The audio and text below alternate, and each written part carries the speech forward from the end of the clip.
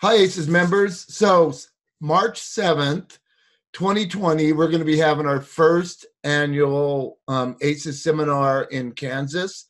It's going to be close to Jim and Mary Lou's home. Um, we're going to have all the details ready for every one of you by September 2nd. So, September 2nd, we'll have we'll have the itinerary, what's going to happen. Um, Dan with uh, Beckert's going to be there. Jerry with Pervasive will be there. Of course, Jim, Mary Lou, and I will be there. And we hope to see every one of you there. It's going to be great to meet everybody in person. I can't wait. Um, but all the details will be coming by the 2nd of September. So you'll have everything. You'll know the itinerary. There's going to be a lot of giveaways. There's going to be a lot of, we're going to um, do some training. Um, but it's, it's just going to be great. All right. So hope to see you there March 7th, 2020 um, in Kansas. All right. Bye bye now.